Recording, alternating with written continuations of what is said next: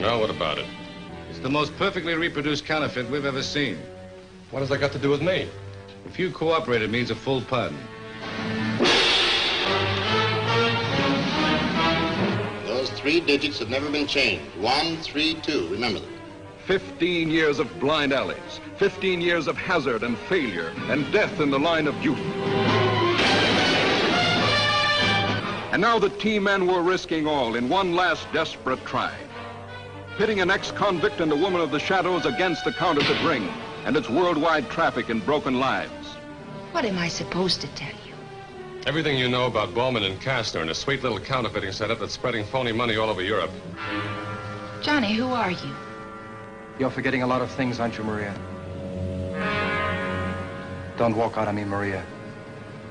I'll kill you both if you do. Just let me find out about Maria Craven in my own way. No, Johnny, there's nothing you can do. I'm not so sure I about told you I didn't want you to get hurt. It's not worth taking a chance. One now leaving at the main.